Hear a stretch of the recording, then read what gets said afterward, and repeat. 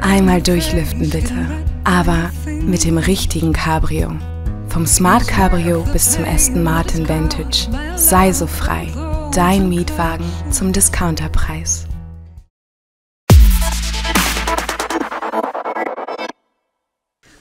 Dem Fehlstart in die Regionalligasaison geht es für den HSV 2 langsam bergauf.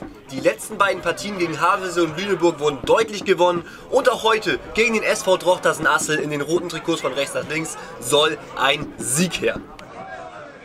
Und für den HSV geht es richtig gut los. Nach einer Jatta-Flanke kriegt Drochtersens Stör den Ball an die Hand. Schiri Christian Schäper zeigt zu Recht auf den Punkt. Die Verantwortung übernimmt Mittelstürmer Christian Stark und trifft. Die frühe Führung für die Gastgeber. Genauso hatte sich das Trainer Steffen Weiß vorgestellt. Für den 20-jährigen Stark ist es das vierte Saisontor. Er steht stellvertretend für den Aufschwung der Rothöschen. Am Anfang der Saison wurden ihm die Profis Ab oder Winsheimer häufig vorgezogen.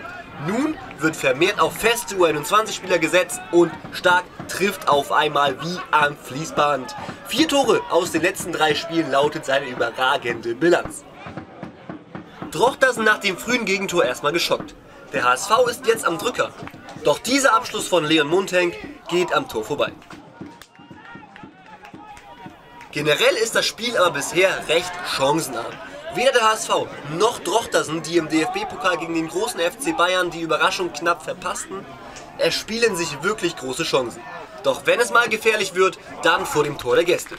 Christian Stark verpasst hier knapp seinen zweiten Treffer. Und das Auslassen solcher Chancen rächt sich im Fußball gerne mal. Drochtersen hat auf einmal etwas mehr Platz als bisher und schon wird's brandgefährlich. Das ist Till Hermandung. Es bleibt beim 1 zu 0 zur Pause. Da hat der HSV nochmal Glück gehabt. In Halbzeit 2 zeigt sich uns ein ähnliches Bild wie im ersten Spielabschnitt. Gute Chancen sind absolute Mangelware.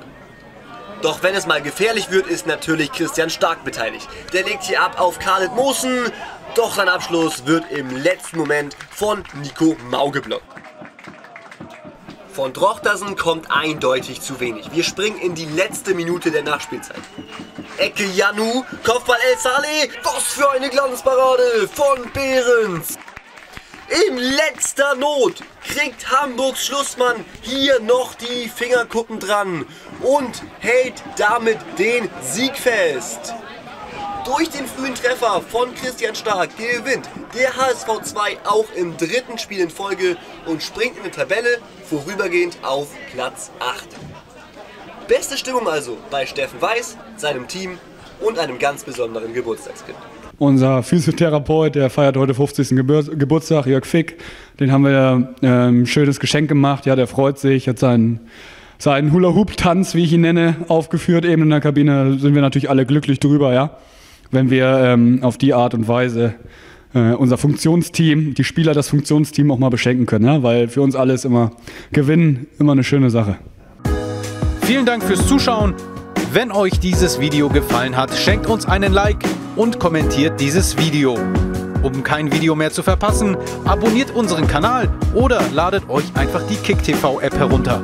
Vielen Dank fürs Zuschauen.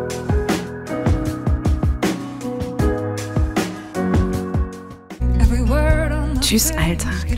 Hallo Freiheit. Wollen wir ans Meer oder in die Berge? Hauptsache Sternenhimmel zum Einschlafen.